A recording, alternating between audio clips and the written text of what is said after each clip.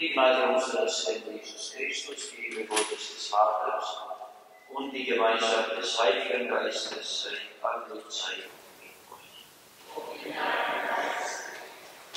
Liebe Herr Jesus Christus, du bist und Vater eingekehrt, um für uns einzutreten.